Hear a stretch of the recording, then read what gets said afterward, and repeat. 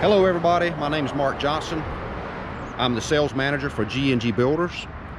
And I'm here today in beautiful Smithfield on Brightleaf Boulevard.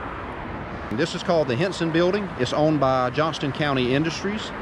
This is a very unique building in my opinion. I've passed it for many years and uh, and I remember when they built it uh, thinking, wow, that's very, that's a lot different than, than many other uh, buildings in this area.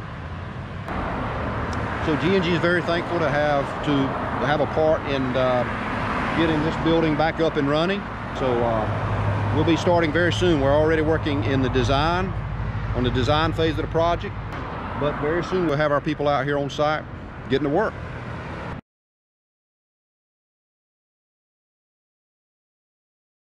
I'm Patricia Little. Um, I am the Executive Vice President and I have worked for JCI um, since 1984.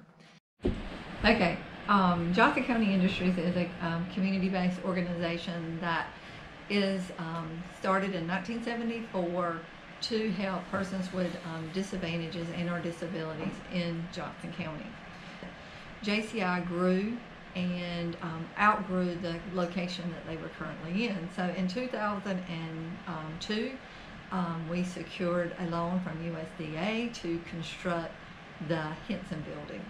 The building was actually dedicated in October 20th of 2003 and we utilized the building for a manufacturing facility so we are extremely excited to be able to go back to the Hinson facility and create a program services center.